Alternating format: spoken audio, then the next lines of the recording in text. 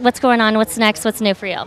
Uh, hopefully, a new album. Um, performing on different shows, Myx TV, TFC in the Philippines. Um, just auditioning. I had just auditioned for P Diddy's new band.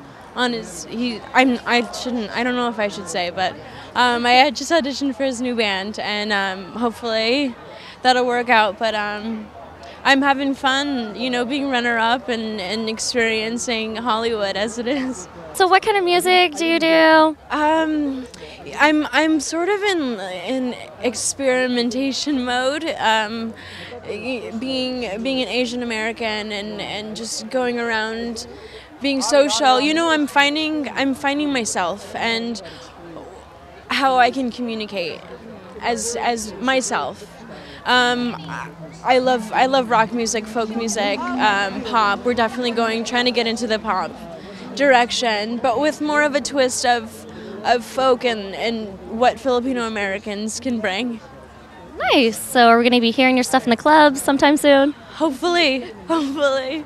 That's a, a major goal in my life right now after being a Pussycat Doll, like I, I've learned so much from Robin Antin, Mikey Minden, you know, uh, Lil Kim. Like it's, I'm, I was pushed into this world, and I, and I'm, I'm so, I, I'm, I'm loving every moment.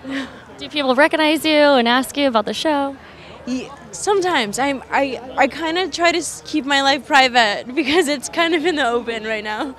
After the show, uh, you know, everyone's like, "What are you doing? What's up? Like, what's going on?" And I, I, my answer is music. It's, it's music. Nice. Yes.